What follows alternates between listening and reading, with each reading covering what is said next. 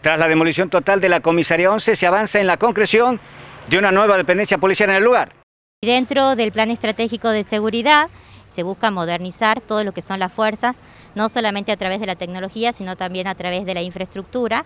Es por eso que se están creando nuevas dependencias policiales, donde buscamos que a través de la arquitectura se cree un vínculo entre la sociedad y la, policía. Es totalmente accesible, donde se están creando nuevos, nuevos espacios, no solamente para la mejor atención del ciudadano, sino también para el buen trabajar de, los policías y también tenemos eh, nuevos sectores de arresto, lo que es la nueva dependencia, cumpliendo con todas las normativas hoy vigentes. Empezamos con la construcción de la comisaría número 11, se ha eh, demolido completamente al 100%. Hemos iniciado el 17 de noviembre con la construcción.